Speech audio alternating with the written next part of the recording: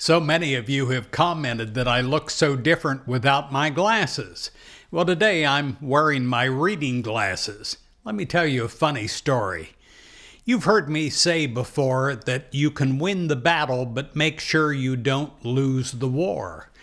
This has happened many times when I was in a committee meeting or something and I would sway everyone to my viewpoint.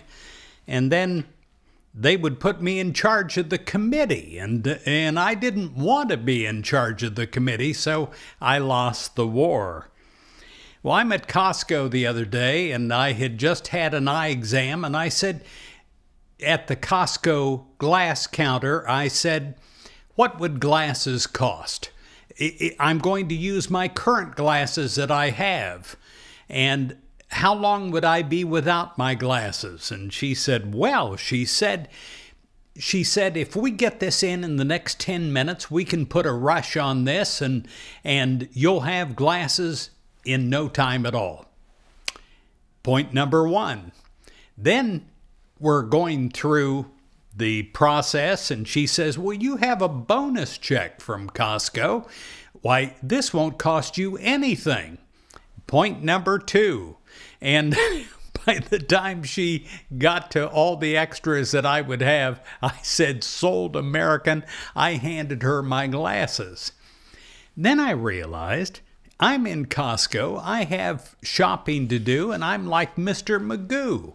I can't really see anything. And so I'm wandering around Costco and I wander back to the car and drive home and get my reading glasses, but it's it's just a funny story about how it, those that know me know that there's nothing that I love more than a deal or a good sale, and I thought it was a true miracle. And uh, the glasses, they still haven't come in, but they will soon, I'm sure. Today, I want to talk about miracles. Miracles are something that I believe in very strongly, and I pray that you do also. It says in Matthew 7, verse 7 Ask, and it will be given you. Seek, and you will find. Knock, and it will be open to you. Well, first of all, in your life, what is a miracle? It is some good that is so out of the ordinary, so unexplainable, that we feel that surely it is an act of God.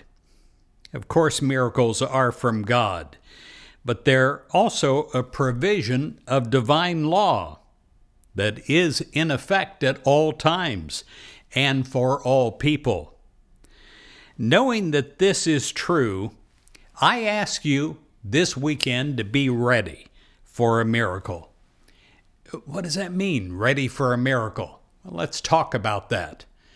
I pray that you don't put your miracles off to some distant day or conditions changing.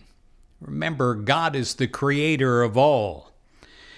You acknowledge that under divine law, miracles are happening right now for you and for your loved ones. You expect and accept that the healing, the prosperity, the understanding, or the peace that you desire for yourself or for another is happening right now. You maintain a faith in God and in an expectation of good in your life right now.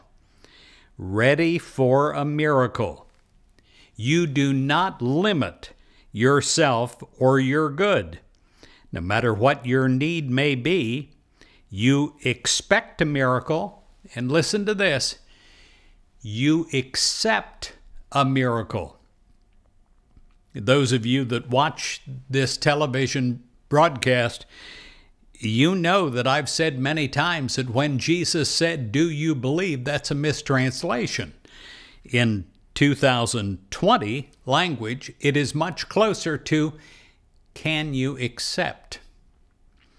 There's a huge difference between believing in some distant time and accepting right now, right where you are, through the miracle of God, your miracle today.